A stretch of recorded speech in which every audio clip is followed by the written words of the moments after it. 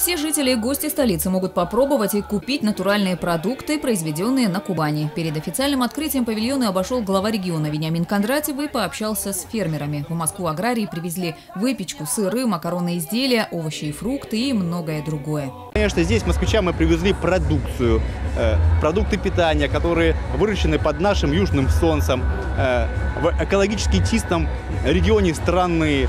Мы привезли наши традиции, нашу культуру, колорит, дух. И сегодня москвичи могут прикоснуться вот к настоящей Кубани. Каждый пусть по чуть-чуть попробует все и выберет э, то, э, зачем он вернется. А мы всегда гостям рады. Поэтому э, милости просим в гости на нашу Кубань, на наш Краснодарский край. Работает ярмарка со всем кубанским колоритом. Весь день гостей развлекают творческие народные коллективы края.